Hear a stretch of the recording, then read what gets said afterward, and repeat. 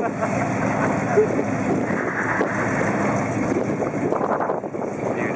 that is great. Can you see the tire size? What size are they? Can don't know. off that? I can't tell. I think they're 32s.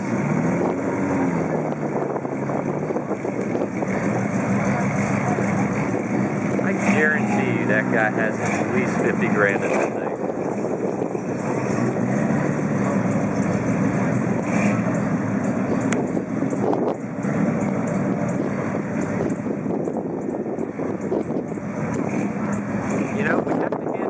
Então, é que